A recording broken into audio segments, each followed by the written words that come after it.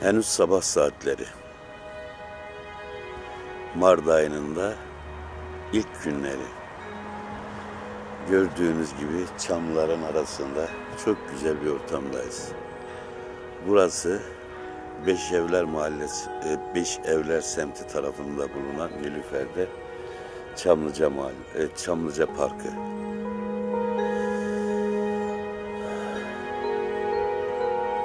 Çamların altında derin derin oksijen soluduktan sonra e, şu kitaptan bir paragraf paylaşmak istiyorum. Mutlu yaşam. Evet, mutlu yaşam ne zenginlikte, ne şöhrette, ne bedensel hazlarda, ne de başka bir yerdedir.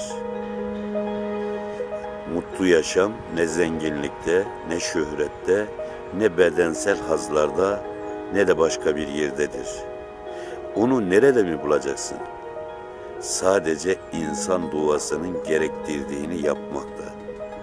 Sadece insan duasının gerektirdiğini yapmakta. Peki nasıl bulacaksın?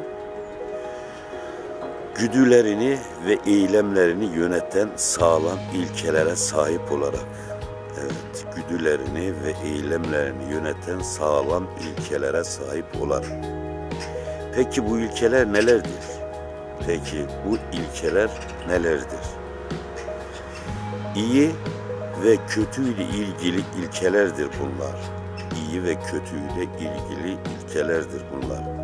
Yani insanı adil, kendini kontrol eden, cesur ve özgür kılmayan hiçbir şeyin iyi olmadığı inancı. Burayı tekrar okumak istiyorum. İyi ve kötüyle ilgili ilkelerdir bunlar. Yani insanı adil, kendini kontrol eden, cesur ve özgür kılan her şey iyiymiş. Bunların tersi ise kötü. Biz şuraya şöyle bir not düşebiliriz. Deriz ki, peki bu ilkeler nelerdir?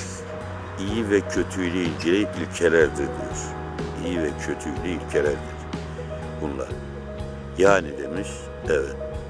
Biz yani kaldırıyoruz, diyoruz ki, insanı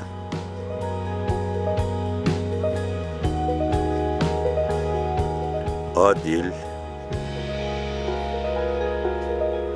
adaletli yani. Kendini kontrol eden otokontrol, kendini kendini kontrol eden cesur ve özgür kılan. Cesur ve özgür kılan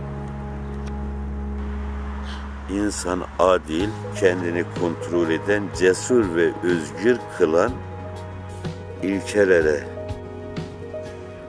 sahip olursa veya bağlı olursa mutlu yaşar.